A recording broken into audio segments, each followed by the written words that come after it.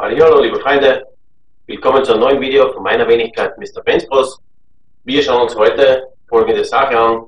Es gibt so viele verschiedene Motorölhersteller, so viele verschiedene äh, Freigaben von den Herstellern für gewisse Motoröle, dass man den Überblick sehr leicht verlieren kann. Wie du den Überblick behalten kannst, klären wir heute auch für alle Mal. Liebe Community, bevor wir heute loslegen, kurze Werbung in eigener Sache. Wir wollen zukünftig euch als Community was zurückgeben und Gewinnspiele fahren lassen. Das geht allerdings nur, wenn ihr mit auf dem Boot seid und dieses Video teilt, kommentiert und liked, beziehungsweise den Kanal abonniert. Der Rest wird sie in Zukunft füllen. Ich bedanke mich, viel Spaß mit dem Video. Als erstes stellen wir uns die Frage, was bedeutet 5W30, 5W40, 0W40, 10W60 und so weiter. Also kurzum, das Ganze ist natürlich sehr verwirrend, weil es sehr viele Angaben gibt zu diesen Themen.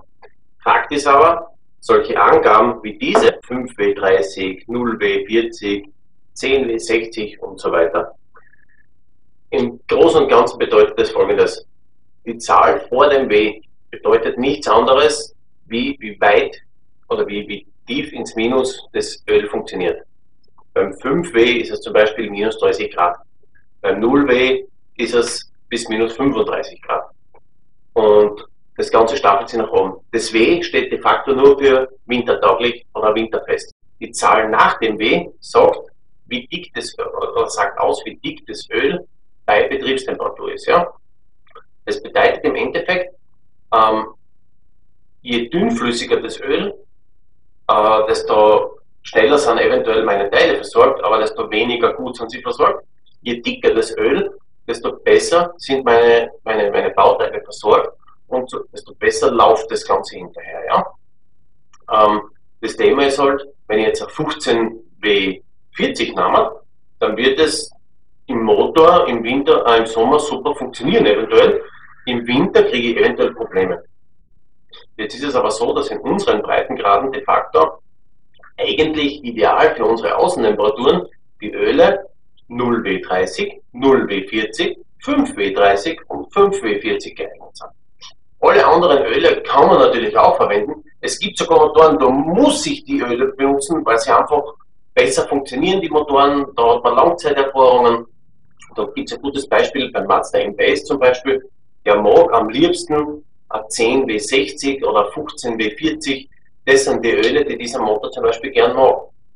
Äh, bei den deutschen Herstellern jedoch und auf die konzentrieren wir uns da ja de facto, äh, ist es doch so, dass sie mit einem 0W40 oder einem 5W40 in der Regel am besten fährt.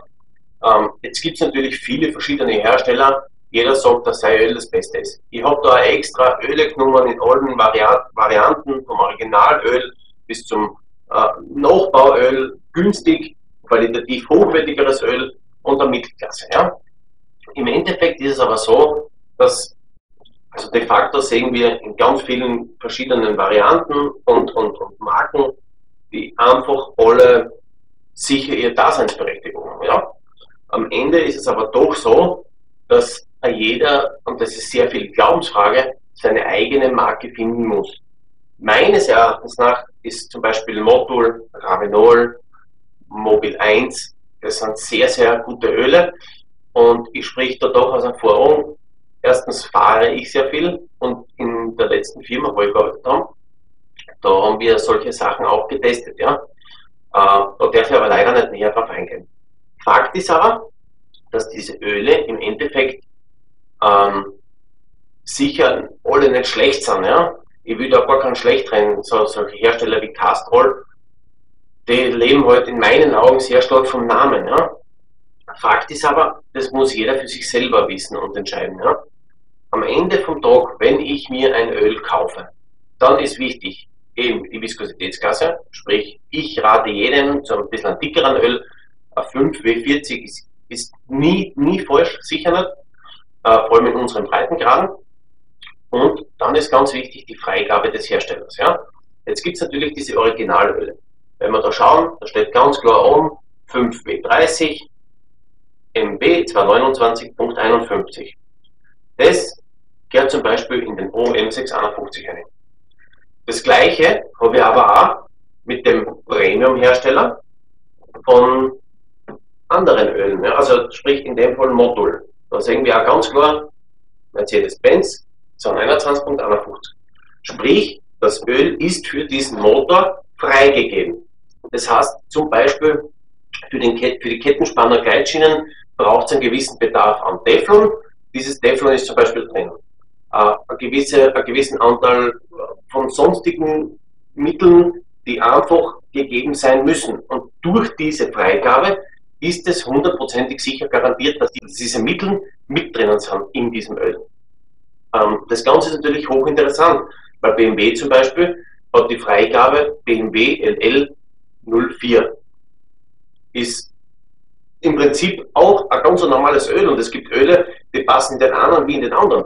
Das bedeutet aber nur, dass alle Stoffe, die BMW fordert, auch da drinnen sind. Dasselbe mit Mercedes, dasselbe mit vielen anderen Herstellern. Ja. Von dem sollten wir uns halten. Ja. Weil im Endeffekt, wenn diese Freigabe nicht drauf ist, würde der Motor wahrscheinlich auch funktionieren. Die Frage ist aber immer, wie lange. Ja? Es geht ja in dem Motor um viel, viel mehr. Es geht um Kompressionsdruck, es geht da um Themen wie, äh, wie, wie, wie rückstandslos verbrenntes Öl. Oder was auch noch ganz wichtig ist, ist, wie, wie gut ist das Öl gegen Scherkräfte und und und. Also beim Ölkauf hast du wirklich Augen auf. Also in so einem Motoröl sind ungefähr 80% Basisöl. Zudem habe ich Disperanten und, und andere Gegenstände, die da drin sind, wie Teflon zum Beispiel, sind Teile drinnen, damit die Gleitschienen für Steuerkettenspanner etc. gut funktionieren und die Weichmacher drin bleiben. Weichmacher sind zum Beispiel da drinnen und und und. Also die Hersteller, wenn sie, wenn sie jemanden, also wenn sie angeben, das ist für diesen Motor freigegeben, dann sind die geforderten Sachen, die alle im Originalöl enthalten sind, auch in diesem Öl. Jetzt hat er aber natürlich andere Freigaben auch und jetzt sind natürlich andere Bestandteile auch noch in dem Öl drin. Ja? Eben entweder für BMW oder für Opel oder wie auch immer. Ja? Da hat jeder Hersteller seine eigenen Richtlinien und seine eigenen Vorgaben, die er gern in dem Öl oder, in, oder die er fordert, in dem Öl zu haben, damit der die Freigabe, und solche Sachen sind auch nicht günstig, muss man sagen, so eine Freigabe zu ergattern von einem, von einem Hersteller, die kostet die Ölhersteller sehr, sehr viel Geld. Also im Endeffekt garantiert dir dieser Aufdruck, dass alles Erforderliche für deinen Motor drinnen ist. Da solltest du dir vorher schlau machen, welche, äh, welche Freigaben du für deinen Motor brauchst. Ja? Da gibt es so viele verschiedene. Da gibt es zum Beispiel das VW, äh, VW hat da 50700, BMW hat L04, Mercedes hat 221.5, 221.31, 221.51, 221.52. Das sind ganz, ganz viele verschiedene und nicht jedes Öl ist für jeden Motor bei Mercedes geeignet. Also du kriegst bei Mercedes Originalöle, äh, die für deinen Motor gar nicht geeignet sind. Das sind dann eher für die Benzinmotoren oder für ältere Motoren, für jüngere Motoren. Jeder Motor hat halt seine eigenen Ansprüche. Ja? Und man muss hier eins ganz klar sagen, wenn wir unser Öl kaufen, da kann das sogar, ich sage jetzt einmal, ein No-Name-Hersteller sein, diese Freigaben, die sind die wichtigsten. Aber wenn ihr jetzt sagt, ihr kauft so billiges Öl wie zum Beispiel Manol, das ist sicher kein schlechtes Öl, ja? aber wichtig ist, dass die Freigaben nicht, äh, dass die Freigaben definitiv drauf sind. Wenn diese Freigaben nicht auf dem Öl drauf sind, dann rate ich euch dringend ab, dieses Öl reinzukippen in euer Auto. Deshalb ist es ganz wichtig, äh, Thema Ölwechsel.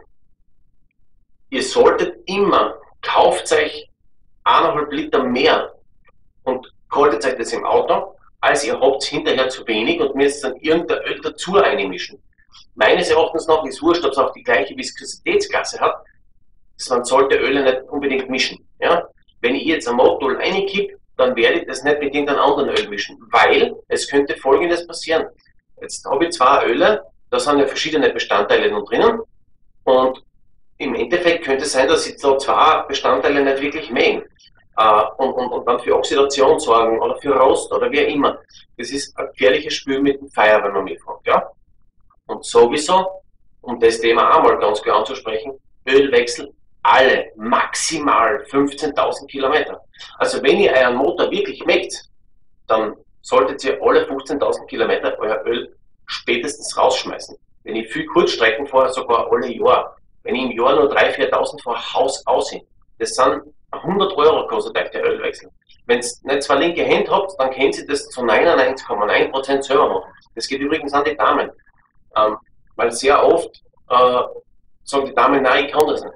Wenn ich einen, einen Schraubenschlüssel in die Hand nehmen kann oder was Ratschen ist, dann kriege ich das in der Regel auch hin. Das ist nämlich wirklich nicht schwer. Ähm, wenn es wirklich nicht kennt oder, oder die Möglichkeit nicht habt, dann kennt ihr sicher irgendeine Werkstatt um die Ecken bei euch, die, da könnt ihr auch dabei sein, der soll den Ölwechsel durchführen und die Geschichte ist erledigt. Ja? Das kostet euch in der Regel, ja, ich sage mal zwischen 50 und 100 Euro plus eure, eure Sachen wie ein Ölfilter oder das Öl.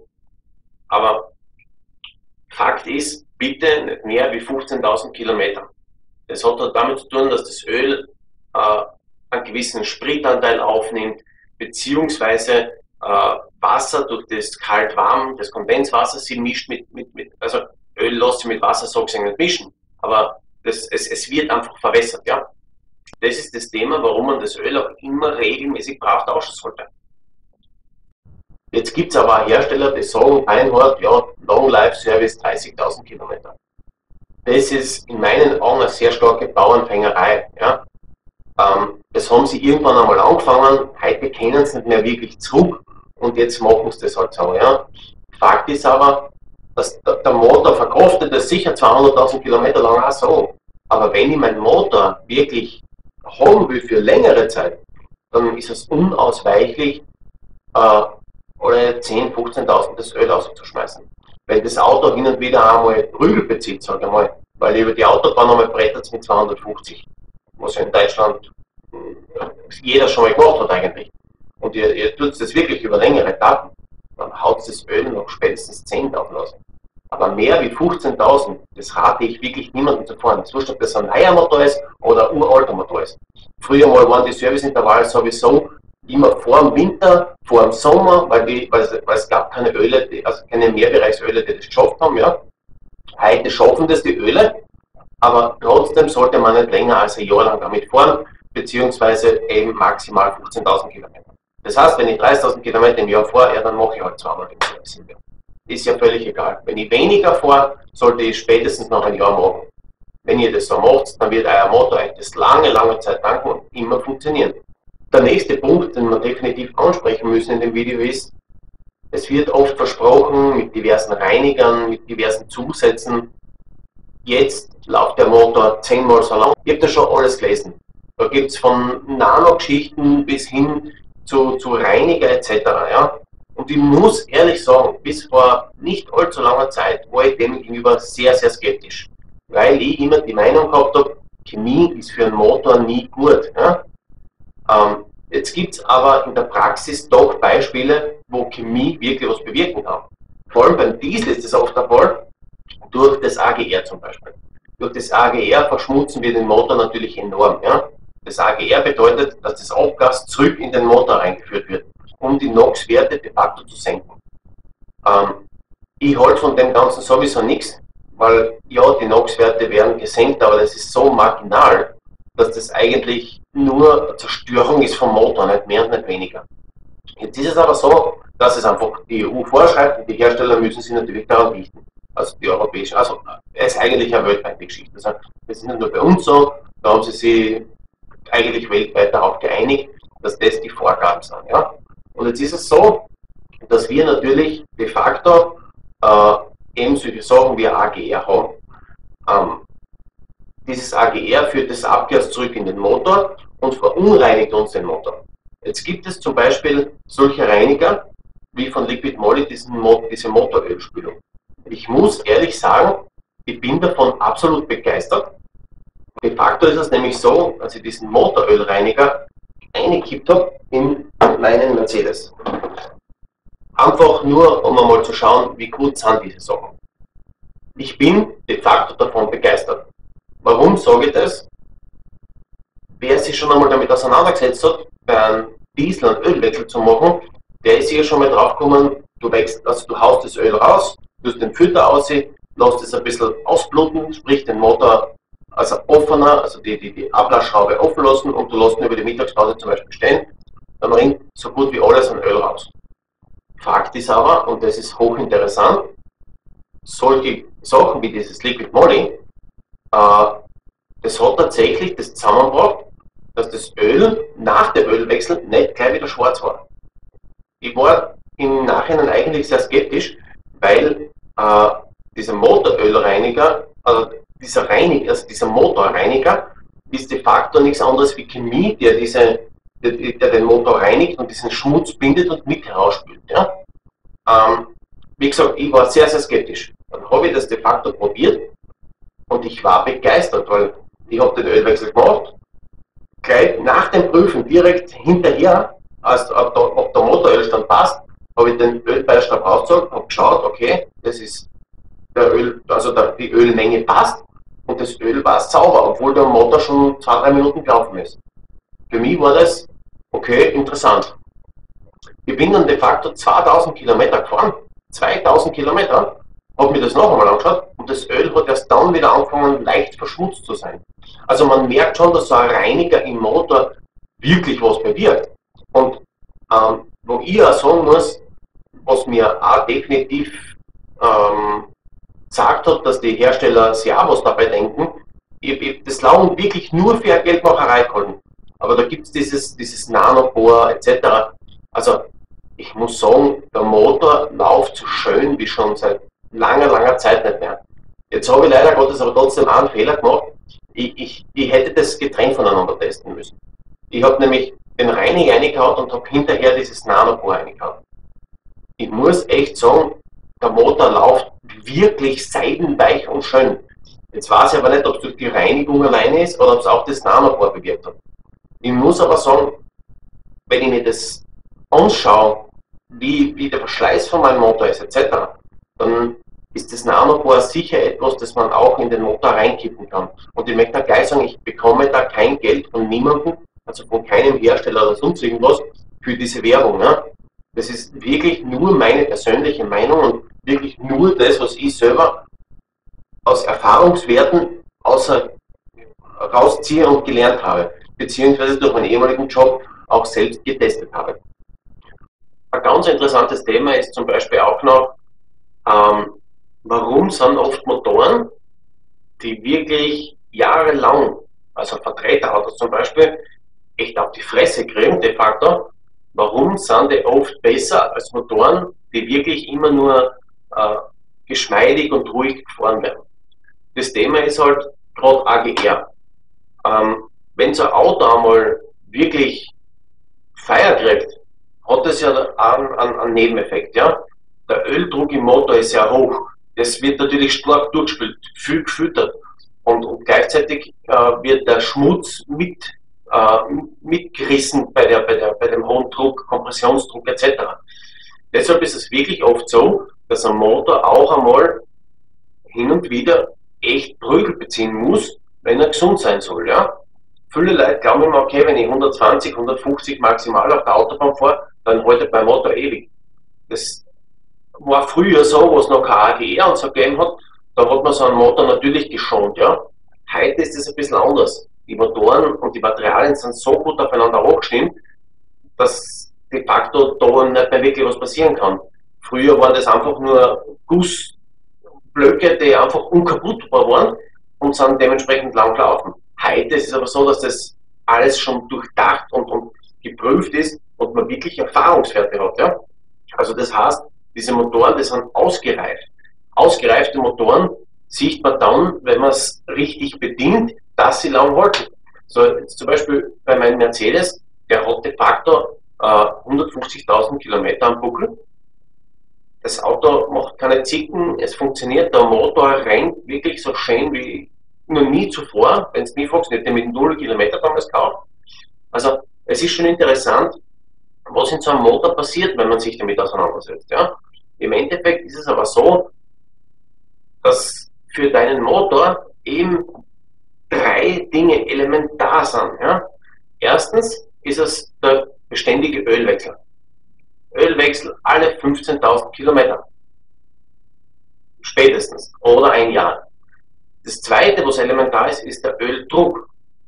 Da haben wir leider Gottes in den letzten Jahren immer mehr gesehen, ähm, dass Hersteller auf sehr äh, wie sage ich das am besten, ohne dass ich da jetzt eine Klage kriegen kann, konsequent gespart hat, sagen wir so.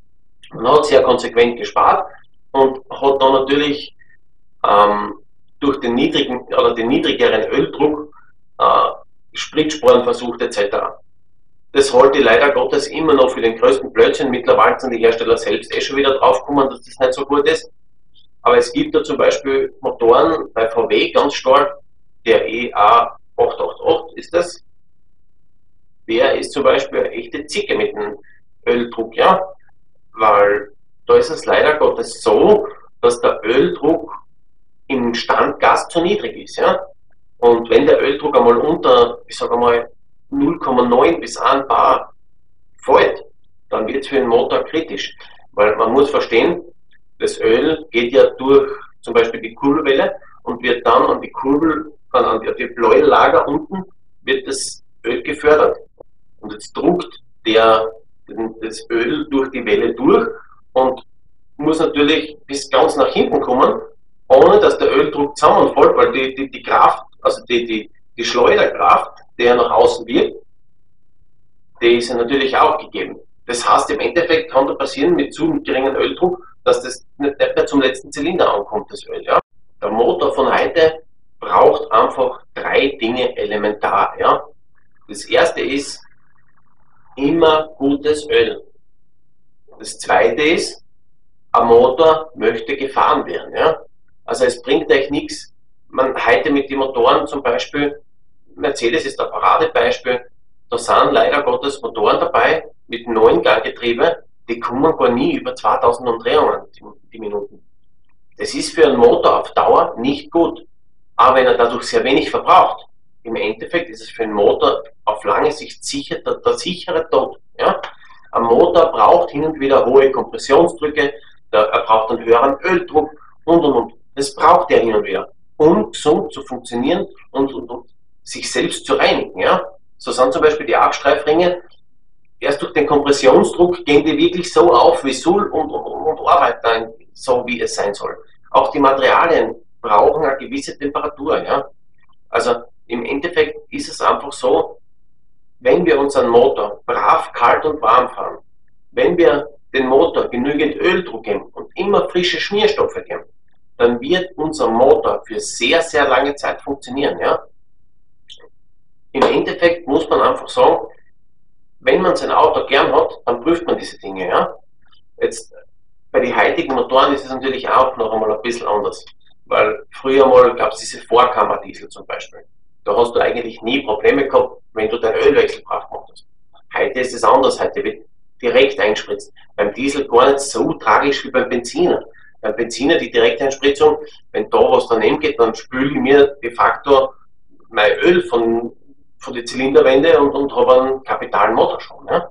Also es ist einfach entscheidend, dass wir wirklich schaut euch das hin und wieder an und lasst euren Öldruck prüfen. Euer Mechaniker hat sicher das richtige Werkzeug dafür, schaut euch den Öldruck an, wie hoch der ist. Wenn der passt, dann könnt ihr unbesorgt weiterfahren. Das kostet in der Regel auch nicht die Welt. Und ihr werdet, wenn, wenn ein Problem da ist, früh genug draufkommen. Und wenn ihr keine Probleme habt, könnt ihr einfach sorgenfrei weiterfahren. Ja? Ich rate jeden, schaut sich das nach 100, 150.000 Kilometern mal an, wie gut ist mein Öldruck noch. Und was noch sehr wichtig ist, aber das haben leider nicht alle Autos, ist natürlich die Öltemperatur. Die Öltemperatur sollte sich in einem Fenster zwischen, ich sage mal, 80, 75 geht vielleicht auch noch, im Winter bei minus 10 Grad, da gibt es Autos, die laufen dann bei 75, 78 Grad, das geht gerade noch, äh, aber im Idealfall sollte sie sein zwischen 80 und maximal 110 Grad. Wenn sich das Öl dort bewegt, dann ist euer Motor in der Regel gesund und läuft gut. Ja? Ähm, jetzt ist es aber so, dass wir hin und wieder leider Gottes auch auf Probleme stoßen, wie zum Beispiel zu niedriger Öldruck. Ähm, VW ist da leider Gottes, äh, die machen da wirklich extremen Sportkurs. Ja. Jetzt ist es leider Gottes so, die haben tatsächlich Motoren gebaut, die gut sind und haben aber so eine schlechte Ölversorgung, dass in der Kurbelwelle zum hintersten Zylinder oft kein Öl mehr ankommt. Ja? Weil man muss ja verstehen, durch die, durch die Fliehkraft, die entsteht, wenn sich die Welle dreht und der pumpt vorne in die Welle das Öl rein, äh, durch die Fliehkraft wieder nach außen drin zu die jeweiligen Bläulager ne? und der hinterste, der kriegt dann das oder, oder kaum bis gar kein Öl mehr ab. Ne? Und dann passiert natürlich genau das, was wir vermeiden wollen, am Motorschaden. Natürlich kann ich vorsorgen, wenn ich ein bisschen dickeres Öl habe, weil der Öldruck damit steigt. Ja? Ähm, gleichzeitig ist es aber auch so, dass man sagen muss, ähm, nur dickeres Öl bringt auch nichts. Also wenn ich jetzt äh, 10W60 eine tue in den Motor oder 10W40, dann wird der Motor genauso bleiben. Ne? Also es muss schon passen. Ich, ich rate jeden bei unserer Breitengrade zu einem ganz normalen und schlichten 5W40. Das passt wirklich für, für 80, 90 Prozent der Motoren. Und ganz seltene Motoren oder ganz wenige Motoren, eben wie zum Beispiel in dem Mazda MPS, die brauchen tatsächlich dickeres Öl. Da ist anscheinend so ein hohes Spiel bei den Bläulager und so, dass der einfach ein bisschen dickeres Öl braucht.